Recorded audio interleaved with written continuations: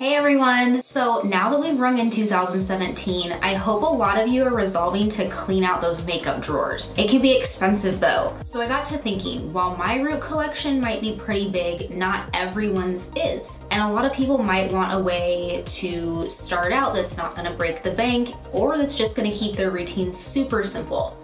So I challenged myself to do a five product day to night look and that's what I'm gonna be bringing you guys today.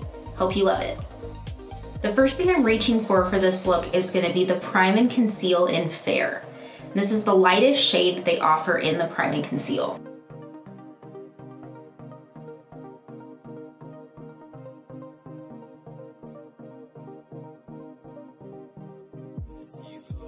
So after I've used Prime and Conceal to lighten my under eyes like I typically would on a day-to-day -day basis, I'm reaching for it again because it's gonna be my primary face product. I'm gonna be using this as my foundation for this simple look. My favorite way to apply it is with a damp pretty blender. I find that the application is smoother and it goes on a little bit more even coverage than it would with a brush, but this application also does work with Roots Kabuki brush. It's just up to your preference.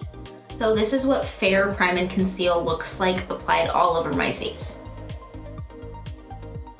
So you can tell that it's a little bit more sheer coverage than the Pearl Powder Foundation, but still very even coverage. Though, because Prime and Conceal is an oil-based concealer. I like to add something over top to kind of set things in. I personally feel like if I were to just wear this alone all day long, I would be accidentally wiping it off when I didn't want to be. So my next step is gonna be to go in with Setting Silk.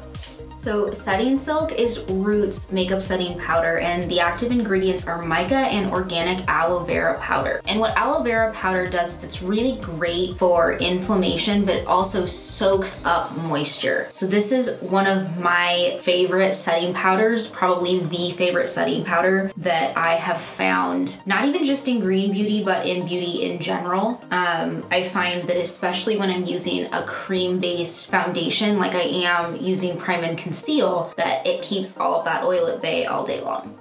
The third product that I'm reaching for is one of my absolute favorites. This is Roots Brow Pomade in Ash Brown, and I'm going to be using this in a couple of different ways on my face, but the first thing I'm gonna start out by doing is my brows.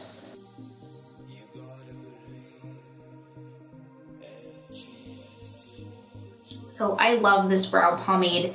Not only is it all natural, it really, really helps to condition and hold the brows into place.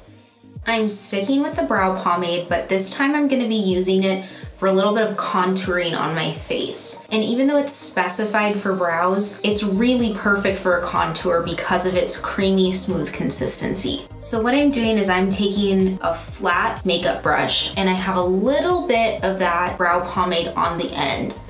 And I'm just gonna take it right along my cheekbone and blend out a little bit. But then I'm gonna go back to the Pretty Blender and blend it out all the way. So I'm also just gonna take that flat brush and I'm gonna do it a little bit around my nose as well just because with my face shape, that is one of the places that I like to contour. And I also like to contour a little bit under my chin and jawline.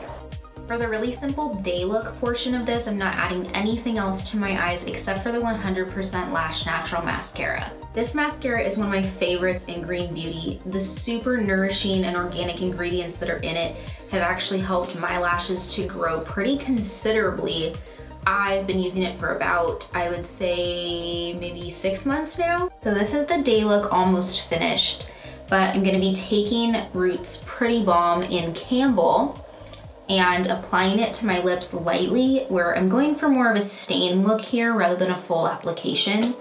So I like to apply the Pretty Balm more to the inside of my lips and then just rub my lips together to disperse the pigment rather than actually applying it all over my lips.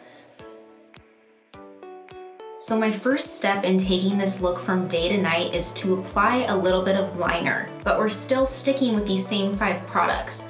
So I'm reaching for a detail brush and that ash brown brow pomade again. So I'm adding a little bit of water or you can use a little bit of your favorite facial oil to apply the brow pomade as an eyeliner. And this will just make it a little bit smoother, it'll glide on a little bit easier, and it's still gonna have the exact same staying power. The next thing that I'm gonna do for the night version of this look is I'm gonna bring a little bit of color to my cheeks. So you can probably guess that I'm reaching for that Campbell Pretty Balm.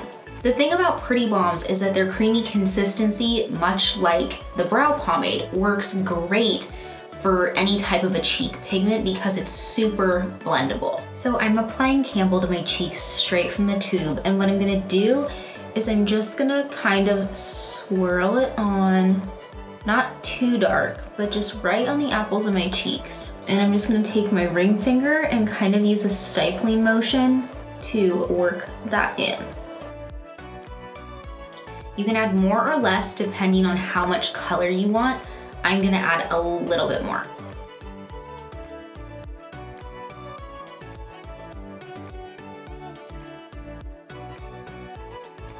I'm just gonna add a little bit more pigment to the lips and that's gonna be it for this look.